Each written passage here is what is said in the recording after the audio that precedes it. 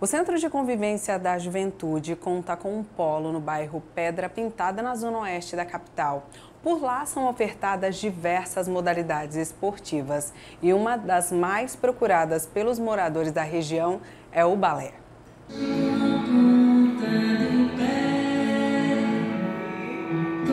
Os passos ainda são de iniciantes, mas os detalhes são importantes para quem quer ser uma grande bailarina. É o caso da Eloá, tem 10 anos.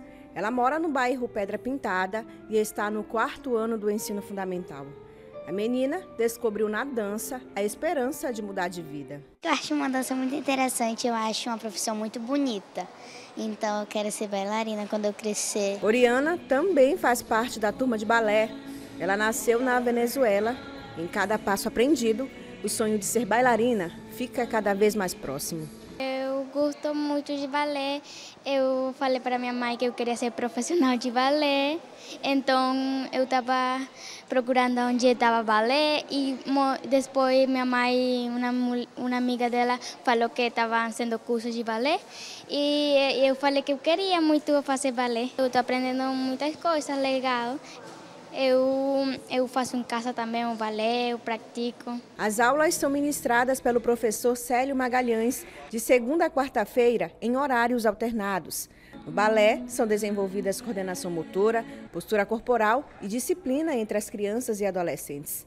Além disso, colabora para a socialização entre os jovens. Um dos objetivos do balé não é só a técnica, a dança, é muito mais do que isso. Né? O balé envolve a emoção, o psicológico, a sociabilidade e a empatia, né? Então, balé, é, ele não é só individual, ele trabalha em conjunto, em dupla, trio, grupos, que esse é um dos objetivos, né? No local são atendidos cerca de 250 crianças e adolescentes em seis modalidades, para a faixa etária de 4 a 16 anos. Era um, um, pedido nosso há muito tempo, porque as crianças aqui elas são muito ociosas, não tinham muitos afazeres. Então, o Polo, quando chegou, ele deu essa cara diferente, uma cara nova e uma nova oportunidade para as crianças, até para um futuro melhor, um futuro promissor em busca de sonhos. O Centro de Convivência da Juventude faz parte da Superintendência de Programas Especiais da Assembleia Legislativa de Roraima o polo no bairro Pedra Pintada fica na Avenida Diamante, número 1227. As modalidades ofertadas são nas áreas das artes marciais, dança e esporte.